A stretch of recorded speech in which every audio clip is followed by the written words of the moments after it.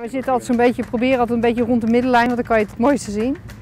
Zo'n beetje op de voorste rij, want dan kunnen de kinderen heen en weer lopen en uh, stroopwafels halen. Want dat is het leuke van Excelsior, dat je op deze club kan je gewoon nog heen en weer lopen. En uh, als kind gewoon vrij, uh, vrij zijn en genieten van de sport. Dat is ook het leuke van deze club. Antoinette Laan, bouwjaar 1965.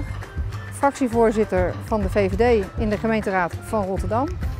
De portefeuilles waar ik over ga is veiligheidsorganisatie en financiën. En ik ben voorzitter van de commissie Bouwen, Wonen en Buitenruimte.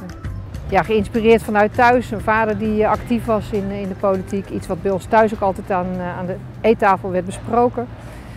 En nou, vervolgens heb ik met mijn echtgenoot zijn wij drie jaar in Zuid-Afrika gewoond. Ik ben hier toen gestopt. Hij werkte voor de ambassade.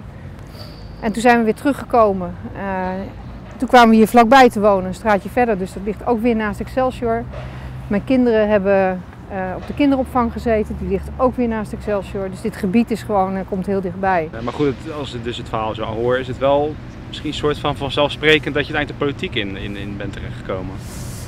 Ja, aan de ene kant wel. Aan de andere kant, ik heb bestuurskunde gestudeerd op de Erasmus Universiteit. Altijd met het idee van uh, dat ik toch iets met politiek wilde gaan doen. Het zit wel echt bij ons in de familie. Maar ja, op school altijd actief, altijd in de leerlingenraad gezeten. Uh, hier mee gepraat op de universiteit op dingen. Ik zat uh, bij de hockey, zat ik in de jeugdraad.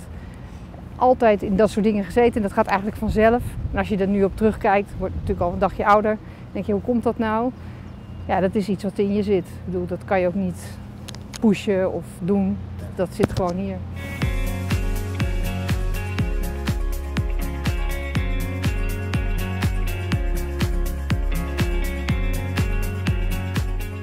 Dit is voor mij echt, hier kom ik altijd tot rust. Als ik uh, de hond uitlaat in het Kralingse bos, lekker wandelen, even je hoofd helemaal leegmaken.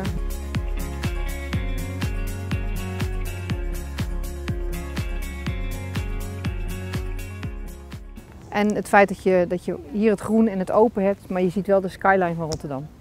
En dat is de combinatie van het dorp in de stad, dat maakt waar ik woon zo mooi.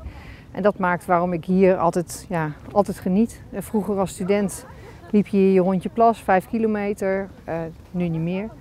Uh, waar, je, waar ik vroeger naar de zeilvereniging ging voor feesten en partijen. Ja, en waar ik nog steeds met mijn kinderen uh, kom. En waar we hartstikke leuke dingen hebben. Ja, dit is uh, Lustofstraat in Kralingen-Krooswijk. nog een echte winkelstraat zoals je die vroeger had. Nou, het straatje hierachter, eerste huis dat we ooit gekocht hebben samen met mijn man. Uh, een straat waar ik als student uh, vaak uh, s'avonds over de straat ging, uh, een biertje ging drinken.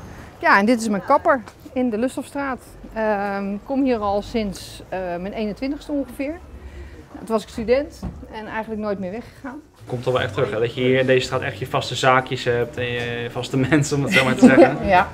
Ja, dat is het. Het is toch een beetje het dorpse in de stad. En uh, ik ben wel een stadsmens, maar dat dorpse dat trekt me ook wel heel erg. En ja, als je je ergens thuis voelt, dan, uh, nou, maakt het gewoon veel fijner. Dus het is echt een prettige plek.